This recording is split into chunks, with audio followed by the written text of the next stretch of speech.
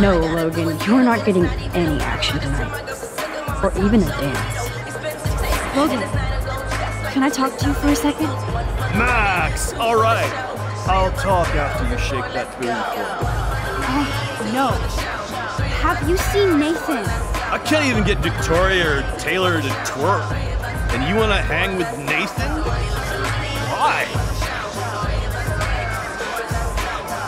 Business. You should talk to his dad then. Bro has got more money than God, and he spends it on the Vortex Club, not the losers over there in the cheap seats. Logan, this is a swimming pool. In other words, you haven't seen me. Ask Victoria. She always knows where he is. Don't you ever want to see me, Max? You're so cute, and we never really talk. Talk about what? The next Bigfoot's game. We could go out to the field. I can show you some moves. Give you a touchdown. Logan, don't make me hurt. Damn. That was way more exciting than a dance. Catch you later, Max. Sorry, Max. Vortex Club members only. Sorry, I'm on the guest list. I'm taking you off. Go fuck yourself, Victoria. I don't have time for this bullshit. Real cute, Max. You still pissed about me taking your picture? Do you even have a clue what's going on at Blackwell? Kate Marsh tried to kill herself in front of you. And me. Everybody here. That's not my fault, Max.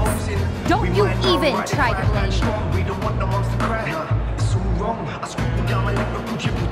Blame you, Victoria, but you know Kate had a church group and that she didn't party. So why did you send out that video? Oh, God. I swear we weren't even going to do it. Then we had some wine and got stupid. It's more than stupid. It's mean, hateful. Kate never did anything to you. And that didn't stop you from taking one last video of her on the roof. I deleted that from my phone. Maybe I'm not her friend, but I didn't get off on Kate attempting suicide. I'm not evil, Max. I believe you, Victoria, but I don't understand you. That makes both of us, Max. I always feel like I have to overcompensate. For what? I have no clue. I'm only here to become a photographer, not president. Like you were gonna throw down notes, hold out with hope and keep buying till I'm flat broke.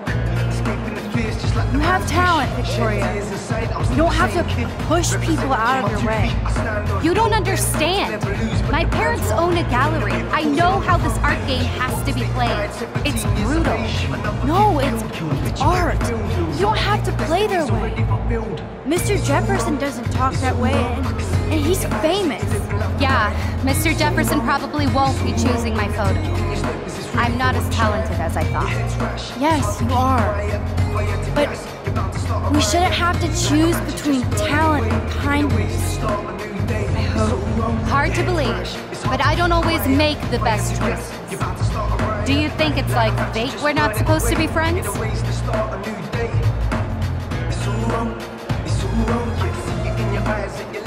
Maybe, but who says we have to be enemies? Whoever makes that decision. That would be us, Victoria. Well, Max Caulfield, I could always choose to let you in the Vortex Club. I don't think that's gonna happen. But not for the reasons you think. Oh, you look so serious.